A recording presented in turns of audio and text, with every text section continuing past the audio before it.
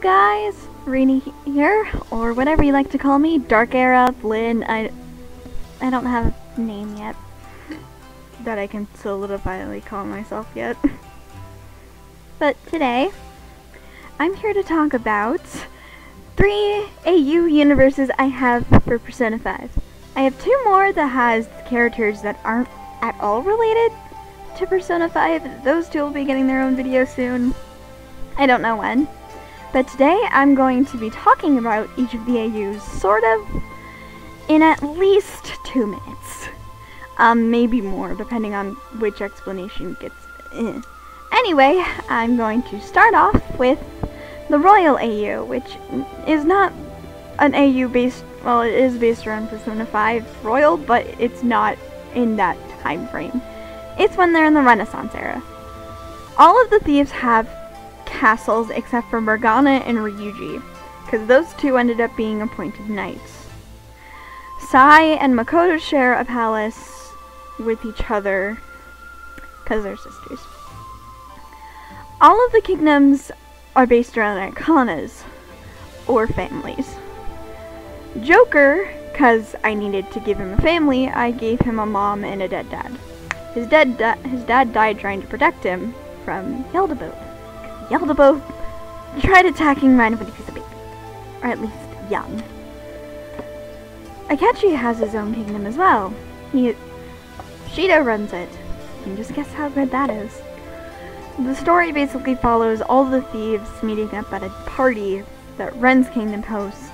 It gets sabotaged. Ren, Mona, An, and Ryuji, they meet up I don't know if I'll make it Akechi meets up or if at some point he gets taken.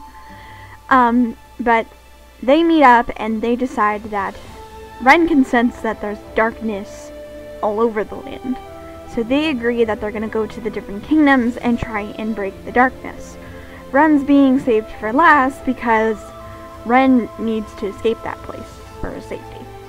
There's a reason why, and later on it gets pretty exciting. And I did want to have a True Love's Kiss moment in there, so hint at that. Um, next AU I'm going to talk about is the one that I've had the much, so much fun making, because I just love the main, I love the Joker in this one. Um, this is my Kira-san It is my little ball of joy child story of where he gets turned from Joker into this adorable thing and tortured and escapes and is now kind of on the run and also lives in the cognitive world with his new family.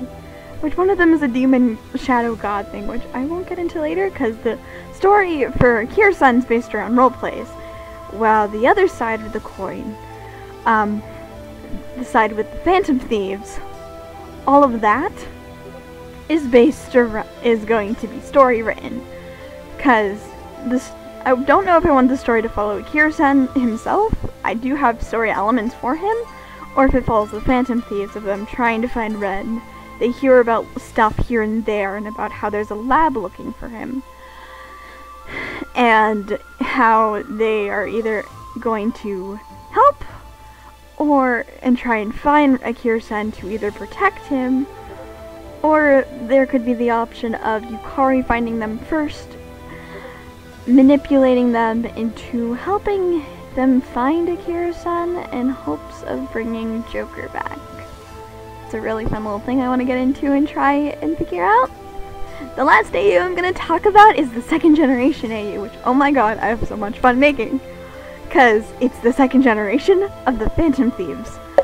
And the Phantom, it's just so much fun because I get to design children and personas that are just kind of fusions of the parents a lot of the parents' personas, and I've designed like two of the characters. so the most I can talk about is Akane and Ryoko. They're cousins, adopted cousins, because their parents, which all, which is Kasumi Futaba for Ryoko, and uh, Joker and Akechi for Akane, who is, yeah, you guys know Akane. They're cousins, because Ren and Futaba are kind of adopted siblings in the story, because headcanon thing. um, but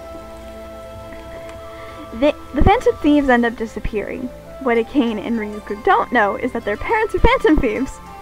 So their parents go missing as well, and everyone's just so confused.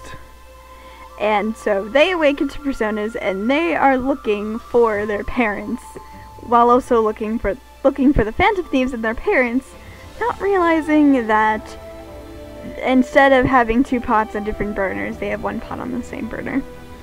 Cuz both of them are the same people because the phantom thieves and their parents are the same people. Um that's the most I have so far. I do know that there's going to be a twist in it that I really like because it's a selfless thing, but it ends up being bad.